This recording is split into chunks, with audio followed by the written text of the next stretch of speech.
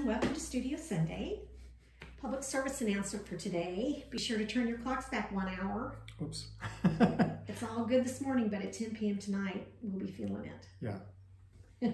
I think I slept late today. I don't. I'm not sure. Yes, you did. Good. I'm glad. Do you do you ever get up early? No. Yeah. Am I So missing let's, anything? Let's qualify that. Okay. Okay, so I have a little trivia here for you. Huh. On November 7th, which is today, in 1637, Anne Hutchison, Hutchinson, the first female religious leader in the American colonies, was banished from the Massachusetts Bay Colony for heresy. really? Yes. What did she say? I, they didn't say, but the Salem witch trials didn't start until 1692. So those crazy folks had about 50 years to ramp up for it. so, but that's when they started all this. oh my gosh. So just a bit of Rachel Rising backstory. All right. So today is a significant day in Rachel Rising history. That's correct. Well, in the America too. inspiration. Oh yes. of Rachel inspiration, Rising. Yes. Oh, that was a terrible time. So serial number eight is at Diamond and should be in stores November 24th.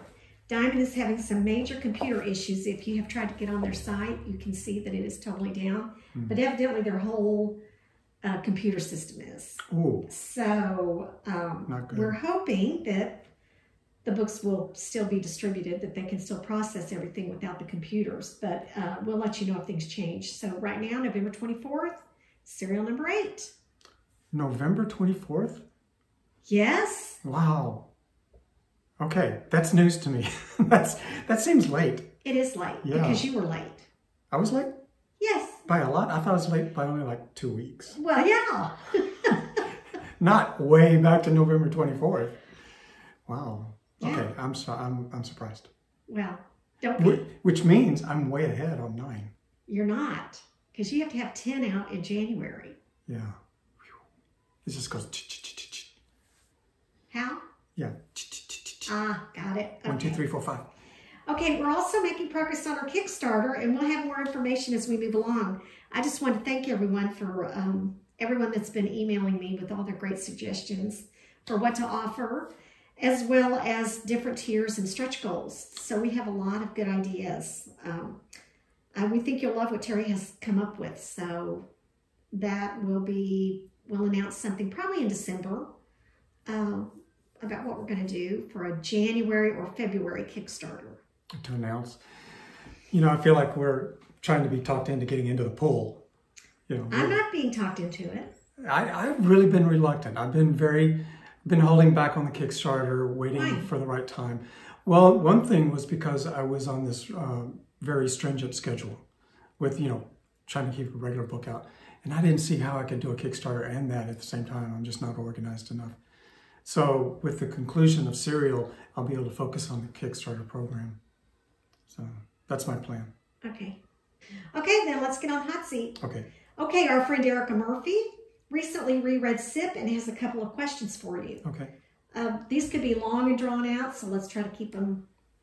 Yeah, I could talk forever about SIP. I can't seem to lock down when the girls met. It's it said seventh grade BFF, but the play story suggests high school. When did the girls become close? Um, it, they became close when they bonded um, in high school.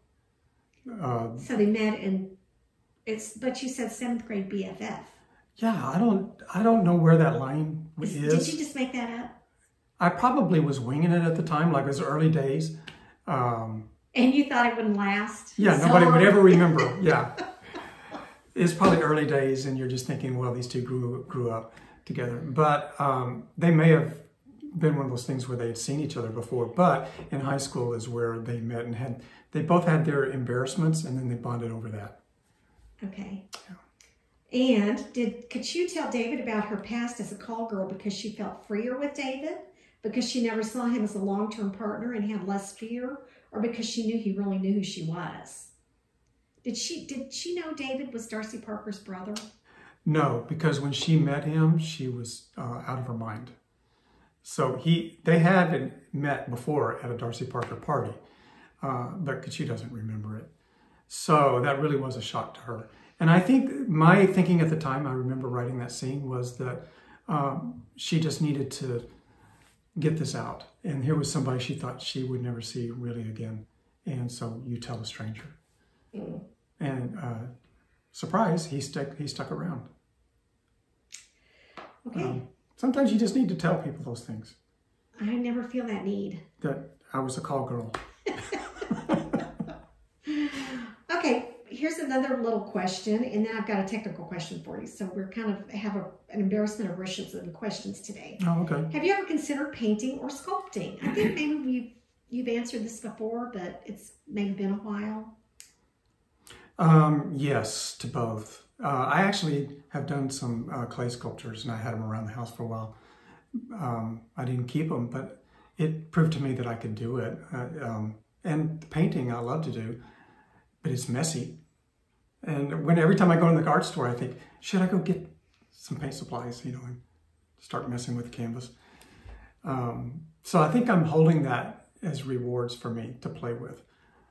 I think I, I definitely am going to play with both of those mediums again. Um, I'm just trying to make sure I take care of all the relevant hot stuff right now. Okay. Okay, and a quick question, a, a, quick technical question. Is it possible to just dive in and ink without penciling first? Seems like it would be a lot faster. I know. It, it would be a lot faster. Um, and I've seen people who can do that, and it's amazing to watch. Um, but I can't do it. I mean, I can when I was young, I used to just get a ballpoint pen and just go for it and just write out my cartoons. But now that I'm doing this, I I find that if I can correct all my mistakes with pencil and I want things to be better and more polished, so I work with the pencils a lot and then ink it. But you can grab, of course, you can grab a pen and just go for it, and, and a lot of people do. We actually have a Paul Pope that is just Sharpie, isn't it? Yes, it is. Maybe you can show that. Okay. Um, um, here's an here, here's an image of it. So I think Paul does a lot of ink only. I am don't know if I've ever seen Paul pick up a pencil. I'm sure he has, but Paul just goes straight to straight straight to the page. That's um, because he's a genius. He's a genius, and he his whole uh, foundation is um, tap right into the conscious stream of consciousness. So he just taps right into his soul and draws. Okay, well, you got a lot of questions answered yeah. in a short period of time. I feel pretty good about that. I try not to rant. Okay, so that's it for me. What are you drawing today? Well, today I thought I would talk about something I really don't talk about much, which is landscape. Um, you know, when I do the sketches and all that, you really just get the person and maybe a hint of what might be next to them, like a chair or whatever. But the landscapes if you're going to tell stories, you have got to have setting, the backgrounds, buildings, streets, landscapes, the city, the establishing shot. And I thought I would go over how I do that a little bit. Okay, well, I will see you guys next week. Meet Terry back here. Okay, meet you right here. The first criticism I ever had when I showed my comic strips to a professional was you need a sense of place. Meaning my characters were all in medium close-up like a TV show and you couldn't tell where they were or what their world was like. And I never forgot that criticism. So when I started the um, comics, the first thing I tried to do was establish where they would be. And from page one of like Serial, it starts off showing you that we're in a coastal town. Here's a cliff. There's a car on top of the cliff. Now we get into our scene. So I go back to my medium close-up television show but now you know where they are. They're here. And that's something that was always missing in my early work. If you look at even the covers, um, they're all, you know, the spooky cemetery, the city park, um, on top of the building on the gargoyle, climbing the mountain, and there's a, a mountain lodge up there. Uh, the spooky outhouse in the woods with the serial killer. There's the cliff again, stormy setting, the walking bridge, uh, the snowy uh, scene in the uh, forest, the woods. I mean, it now it's all about setting because it's all about the story. And I really took it to heart when I was doing five years. Um, the first thing you, I did was open up with, you know, these incredible uh, settings of Katchoo's home in uh, Hawaii on the beach. Um, this is the same little house that you saw in Strangers in Paradise. This is the house she escaped to. Uh, used to belong to Darcy, and she escaped when she left with, um, got out of Darcy's house. She came here, and this is where she had her uh, dream sequences and all that of Emma drowning and all that. Um, so it, this drawing Hawaii is something that I don't actually get out a photo or anything. I just go by my memory of things I have seen. I think when you see an artist just staring off into the distance, um, you might think, oh, they're just daydreaming. Maybe they're just looking at the landscape and taking it in. Um, you know, there's there's things that once you look at enough palm trees and clouds and the ocean and things like that, you get to the point where um, it's in your head. You know, uh, I kind of did the same thing for five years, starting off again in the same location, actually, um, Beach House, and this is an interesting thing, though. In comics, you get to draw things you can't actually photograph. This is all stuff that you could go out there on the beach with uh, people and get these uh, snapshots. But in the story, they're watching something coming in the sky. And this is the, I'm telling you this because this is the fun of comics. This is why I do it. In the story, she's dreaming that the sky catches fire. All the hydrogen started catching fire and now it's a chain reaction you can't stop. And she's watching all the hydrogen combust. That's not in any movie that I know of, and there's no photo reference for it. And so now it's totally up to your imagination. So I took my beautiful landscape, this, and then I set all the hydrogen on fire. You either have to be on a high budget movie or in comics to do that. I am so glad that I'm in comics and I can let my imagination run wild. Okay, you know, the beaches and trees are easy. That's one thing. How about Moscow? Can you draw Moscow on a snowy day and they have that big river and all the bridges and the water looks very uninviting. It's the last thing you want to fall into. Um, this I did get out um, Google Images and then I freehanded it um, to the best I could because I thought, you know, if you know Moscow, you'll recognize it. If you don't know Moscow, you won't know if I misplaced that building anyway. but why did I go to the trouble to draw all this? I mean, this took all day to draw because it was super important because of the scene that follows. This is, um, you can actually see our character uh, walking up right here. There's our uh, character walking up. And now the scene is all in TV medium close-up uh, format as Rachel meets with uh, this fella and they're going to have a little negotiation and then it goes wrong and they end up in that water that you now know to fear. It's too cold to be in there. You do not want to be in there. And then in the book, this is all gray tones, but Okay, that's how that scene starts. It all started with that wide shot of Moscow. Um, okay. The coup de grace. Rachel Rising. Uh, we don't sell the art to number one issues, by the way, anymore. Isn't this funny? You know what this is? This is the actual cover art for issue one. That's it. Uh, that's how I got this. Isn't that weird? That's all the drawing I needed to get this, this really iconic imagery. When I do stuff like this, I'm thinking I, if this was a play on Broadway, a big smash hit play, and there was that huge ad uh, in Times Square, what's the most iconic image, you know? And that's what you want, uh, that iconography. And this was my icon image for Rachel. That's what I was thinking. Um, so it opens landscape. Uh, the most important thing was to let you understand that we're in a deep forest um, and that we go into it. We keep going deeper and deeper into it. And I'm using in my own best way that I have. I don't have the talent of real landscape artists, but I'm pulling off of so many people I've seen how they do layers and things like that. I mean, this goes all the way back to, to Disney, you know, where you have um, silhouettes and then people walking through the silhouettes.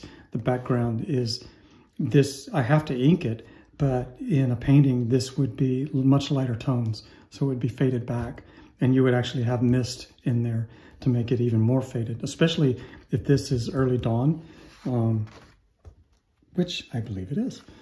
And then you get into the setting here. You can almost hear the birds um, flying up like a Michael Bay movie. Oh, look, they're flying. There's doves in the church.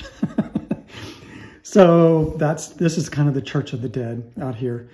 And then, okay, here's one thing that I want to point out that was really cool. I just need to draw a gully, right? And in the middle of this dry riverbed gully, uh, this horrible thing happens where somebody comes up out of it. But I have to draw the edge of the, the ditch there. And I decided to do this really organic, striving, like they're all organic living things trying to claw their way out of hell, or they're trying to pull you into hell. So I went with a very organic looking um, bed, you know, I, I don't know what, I'm losing my word on this. I think I actually even drew in some skulls, like, you know, scary little features inside here that thing, little things that you would use to draw skulls or screaming skulls, but it's not quite there. It's just suggestive. And then out of the dirt comes Rachel. Um, okay. We're talking about Rachel. Let's put one aside for a second. Look at the covers.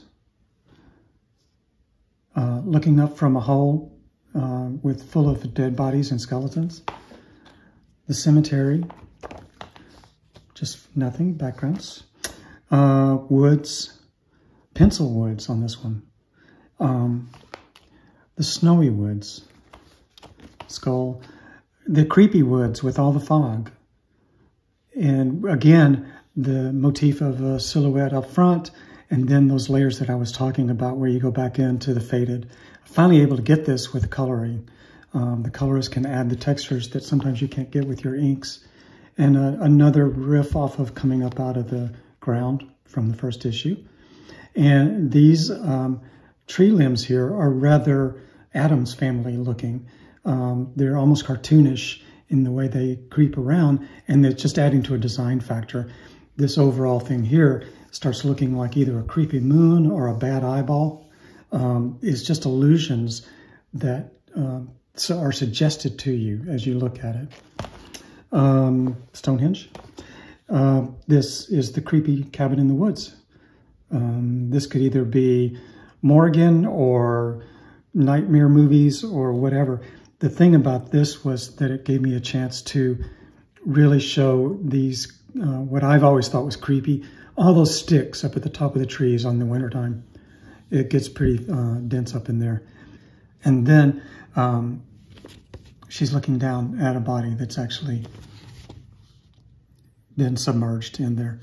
But um, this is the first time I think I've ever drawn the boat launch. Um, things, things like this are things that you see your whole life and then it's time to draw one and you just remember it. You know, it's like if somebody says, okay, draw a frying pan. You don't need to Google that, do you? Um, here's where I'm having fun with the same thing, uh, trying to go for more of a humorous approach to the horror motif, um, combining all kinds of weird, wrong things there. Uh, and here it is in like a reverse imagery. I drew a um, pencil sketch of all this, and I don't think I've drawn this cover anymore. I'd show you. This is all a pencil drawing, and then I reversed it um, inver inverted it in Photoshop and it turned up like this and then I gave it a, the brown tone in Photoshop and it becomes this really wonderful um, kind of very wrong looking landscape. Um, I like this one. Uh, this is the one where the uh, siren Rachel as a siren is coming, emerging from the organic tree. And obviously it's the tree of death because there are other skeletons in here, maybe previous incarnations of Rachel. And, um, but look at the organic drawing of the tree. This is one of the things I really started getting into all the way from the mushrooms at the bottom and the grass, the dirt, the mushrooms, and it all just kind of works its way up. And I was trying to think in terms of like um, molecular cells, uh, skin cells, the um, the way the anatomy of a body or any living thing tends to work in groups of small and large, and then they kind of intertwine and weave, and they work their way towards the end of um, the the member, and this this whole tree being the member, of course, and then the limbs. It's just something that when you're drawing it, if I had just drawn a tree, if I if all I had done was drawn one of these and then a person sticking out of it, it would not have um, any any depth to the drawing. There would be nothing to discuss. This one looks like that tree is just as alive as these people, but there's it's in a hell way. It's in a hellish way.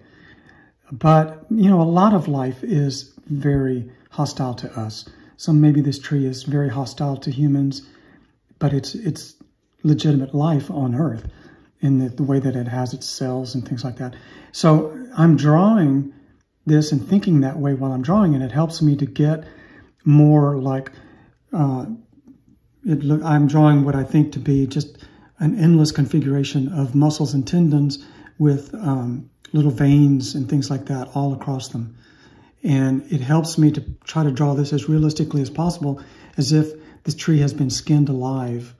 And what you find inside there are uh, old corpses, and these guys may be all the way from the 17th century or 15th century, whatever. And then the tendrils that hang down like Swamp Thing, that could be moss or they could be what's left of the tree's uh, circulation system, things like that. I mean, you can just play all kinds of mind games with yourself while you're drawing this. And the more freaky you get with your mind, the more it gets into your drawing. And you start drawing more like this instead of, oh, look, a tree with bark, you know. So that's what the mind games are for in terms of like imagination.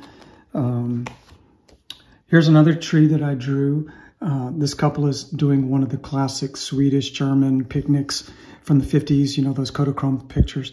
And then um, I drew this tree that has every limb has been lost. And now it has kind of like a bonsai look, but all these holes start to look, that's too many, right? It's now that something's weird about the tree.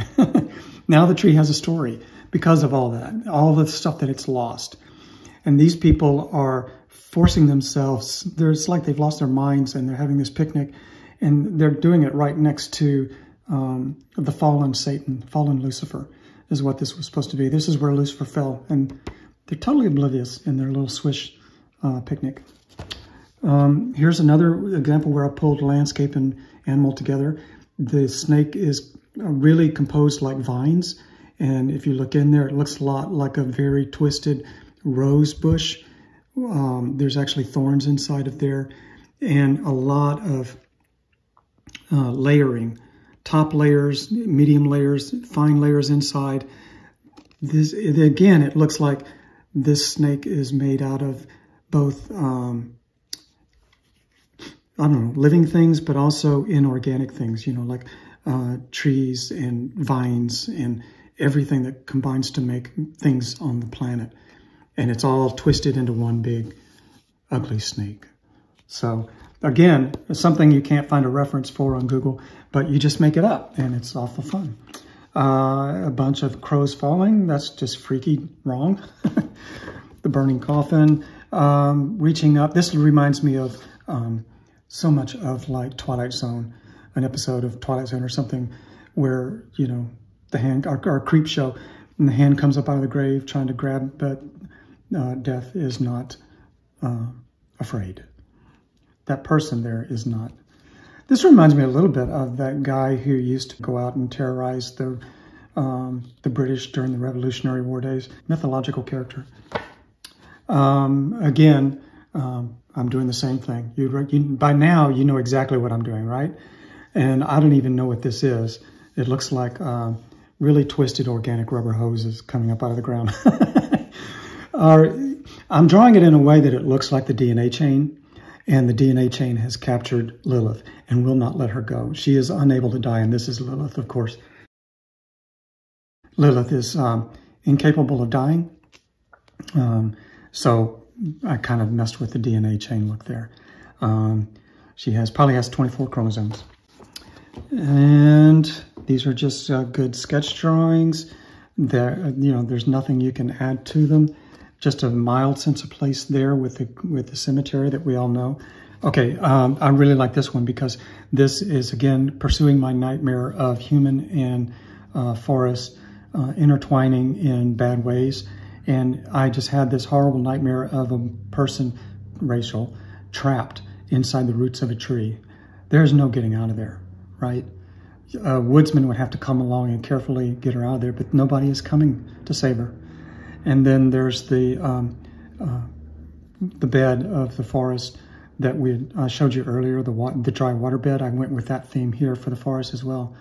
And then there's actually a lot of forest detail in the background covered up by the graphics but um, it's all covered up and that's okay, that's fine. At least it's there and it works to help provide the setting for the main tree. Okay, and here's, I did draw the bark, but I drew the bark in more of a, a fashion like the thing, where you have scale layers.